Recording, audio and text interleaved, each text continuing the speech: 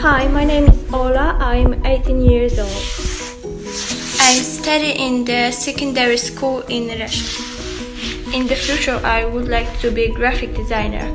I play football and I do gymnastics. I love traveling and dancing. I'm very happy because Portugal is a special and beautiful place. I will learn Portuguese, culture and customs. I like meeting new people. I hope to get new wonderful experience. See you Portugal!